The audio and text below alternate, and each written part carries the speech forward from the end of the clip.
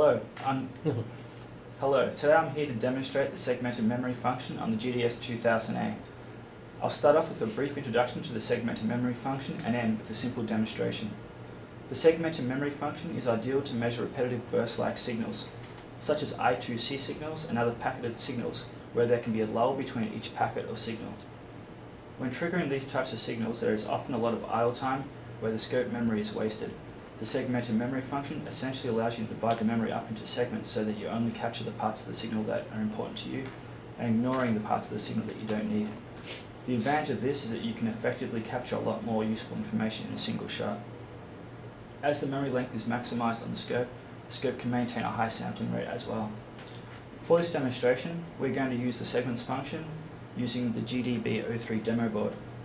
The demo board is connected to the logic analyzer module here and it's set to output an SPI signal. First off, we have to turn the logic analyzer module on and turn on digital channel 0 to 7, which we've just done now. Next, we're going to get the scope to trigger on bus and we're going to set the bus to SPI.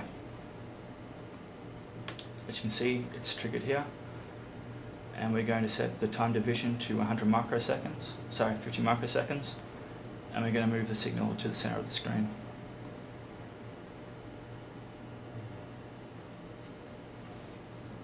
Okay, uh, next we're going to turn on the segments function, press the acquire key, segments, and turn segments on.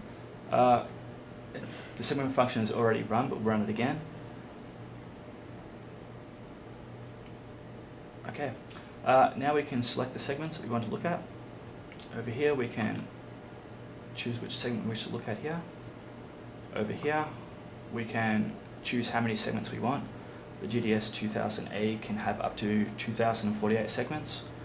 Or we can alternatively just set to maximum or minimum. You can see here we're just set to maximum.